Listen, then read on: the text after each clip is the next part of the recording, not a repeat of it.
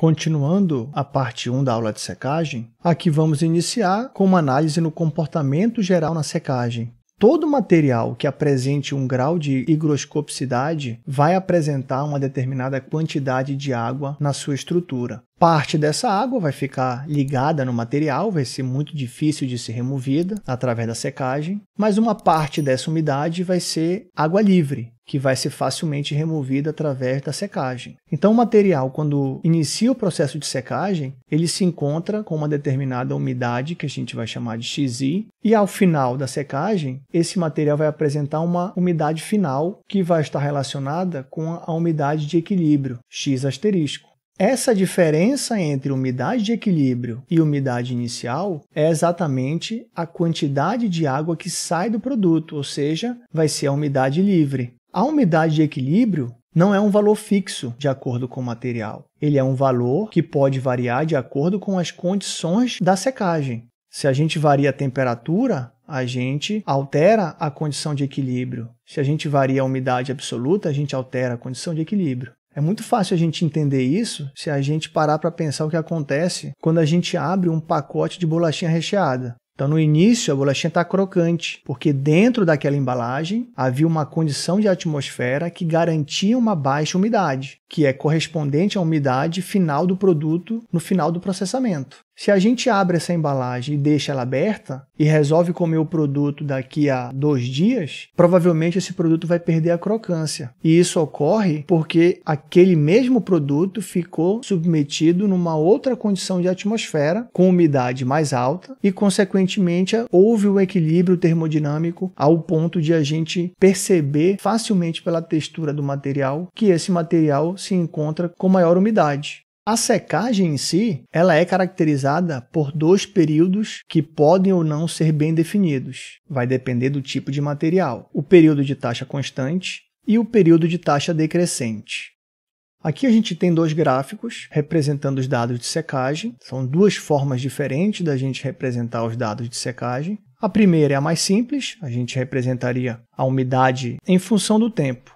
No gráfico à direita, a gente tem a taxa de secagem em função da umidade do material. Nos dois gráficos, mais no gráfico da direita, a gente observa com mais nitidez, a gente encontra diferentes etapas que caracterizam o comportamento da secagem. A gente tem então um primeiro trecho que é caracterizado por A2' B ou A''B, que é um período muito curto, é um período de estabilização, vai depender se o material se encontra com uma temperatura abaixo ou acima da temperatura do gás de secagem. Considerando que a gente tem um material com uma temperatura abaixo da temperatura do ar de secagem, a gente teria esse comportamento, A2' B. Isso ocorre até a temperatura do material se igualar à temperatura do gás de secagem. A partir do ponto B até o ponto C, a gente tem a taxa constante de secagem e depois a gente tem taxa decrescente de secagem, que pode ser dividida em dois períodos. Primeiro período de taxa decrescente e segundo período de taxa decrescente, dependendo das características do material e da secagem.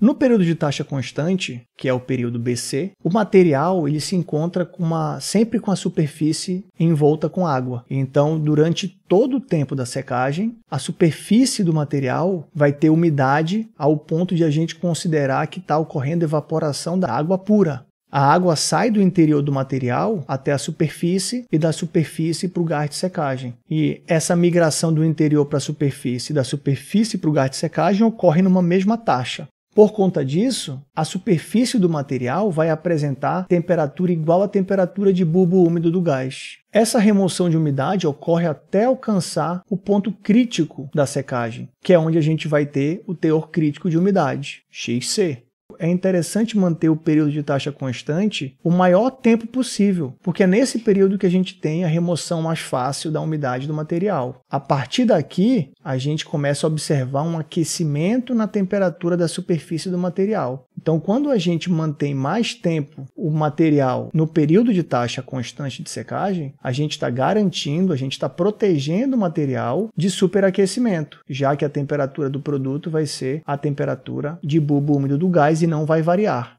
A umidade crítica vai depender de alguns fatores. Vai depender da taxa de secagem. Então, dependendo da velocidade do ar, a gente pode encontrar, por exemplo, arraste de água. Então, velocidades muito elevadas, a gente tem um aumento da taxa de secagem que não necessariamente vai estar relacionada com o processo de secagem, mas sim com arraste de água. Né? Parte da água superficial vai ser arrastada com aquele gás, mas não vai estar havendo a secagem propriamente dita. Mas é importante manter uma velocidade do gás de secagem, porque o escoamento do ar de secagem ele vai garantir uma redução da espessura da camada limite, facilitando com isso a migração de umidade da superfície do material para o gás de secagem. Quanto maior for a taxa de secagem, menor vai ser o tempo para alcançar a umidade crítica do material. Então a gente vai ter uma umidade crítica elevada, o que em tese não é desejável, pelos motivos que eu já citei anteriormente. Se a gente observar esse gráfico, a gente tem aqui a secagem de um material granular durante período de taxa constante. Então aqui está sendo avaliado apenas o período de taxa constante. Se a gente considera diferentes taxas de secagem, a gente vai observar que para menores taxas de secagem, o material vai apresentar menores umidades críticas. Então, uma elevadíssima taxa de secagem pode parecer interessante, mas pode não ser benéfica no sentido da aplicação da secagem. E por que, que isso ocorre? Porque em elevadas taxas de secagem, elevadas taxas de remoção de umidade, a água do interior do material não consegue suprir a saída de umidade da superfície do, desse material úmido para o gás de secagem.